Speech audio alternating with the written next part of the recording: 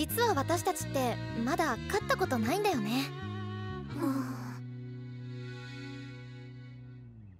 だからこそここでまずビシッと結果を出すのですよ。